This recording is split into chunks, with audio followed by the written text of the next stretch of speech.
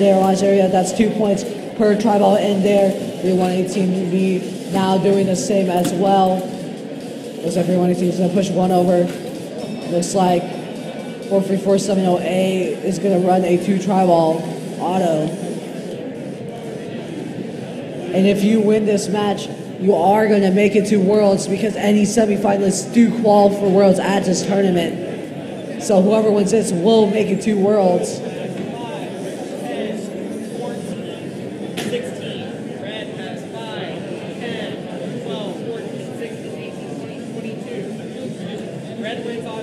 Red wins Auton. We're going to start driver control in three, two, one, go.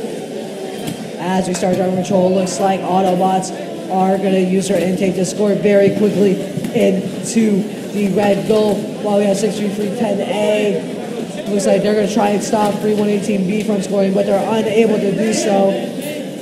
43470A is going to keep on scoring with their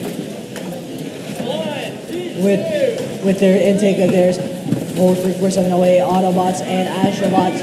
Again, they were in a tournament winning alliance. Let's see if they can keep it up here. Now we have Purgatory for some defense against Autobots. Looks like there is some double zoning, but they're able to stop it quickly in order to stop. Looks like 43470A and 3118B are crossing the field. Looks like very fluidly so that they can't be stopped. 3118B coming in for a massive push of triballs.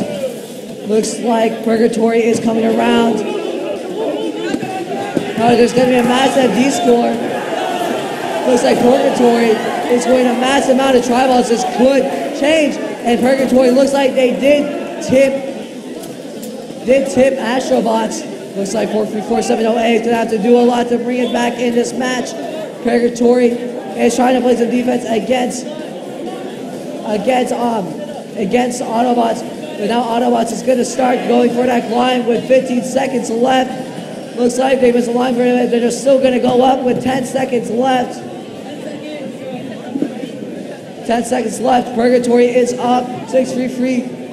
10A is up. It's going to take one more piece, and that's the end of this match.